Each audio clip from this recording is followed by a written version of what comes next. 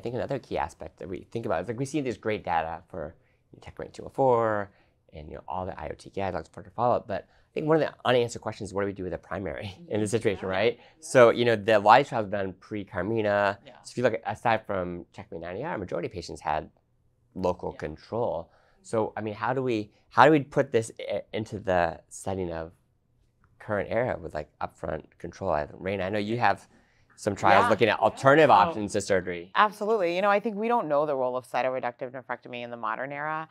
I think um, retrospective databases have suggested that it continues to be impactful, but those are very biased regarding who's getting surgery or not. I think the general practice um, for people that are presenting with de novo metastatic disease is to start them on systemic therapy and um, you know assess them over time and kind of see what happens and um, i think a lot of us in clinical practice for those patients that have done really well um, you know potentially considering a consolidative cytoreductive nephrectomy down the road or if patients do well everywhere else but the kidney potentially considering you know surgery in that context um, not all patients are candidates for surgery um, or want surgery. And I think surgery also usually mandates a discontinuation of their TKI if they're on therapy. And so uh, the radiation techniques have really just exploded. It's been a renaissance in the technology around SBRT.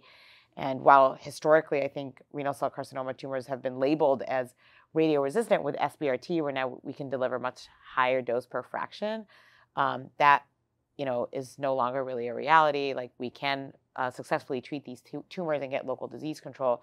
So we have a trial called Samurai through the cooperative groups that is, um, you know, having patients, uh, you know, get standard of care immunotherapy at physician choice with a randomization to SBRT to the renal primary, very simple, one to three fractions, and then um, could go on to continue to get their systemic treatment. So I think it's an important question that we need to answer. Um, and there was even excitement in the room today, um, you know, during the, um, you know, sarcomatoid and variant histology lecture about doing clinical trials that answer the question about how do we do SBRT appropriately. Like everybody's got their one-off scenarios of what they do, but you know, can we actually conduct studies that look at you know, oligo treating oligoprogressive disease or oligometastatic disease.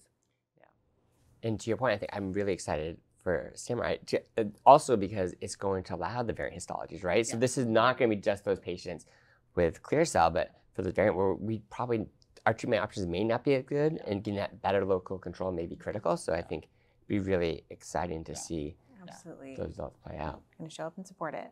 Yep.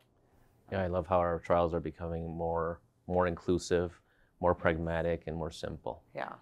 And we do have the probe trial that's ongoing, trying to look at the role of consolidated surgery, right? Those patients Very do get trial. trial. Yeah. Can should we do surgery down the line? So I think hopefully we'll get some answers, and great from like cooperative groups, right? Starting to answer some of these um, unmet questions.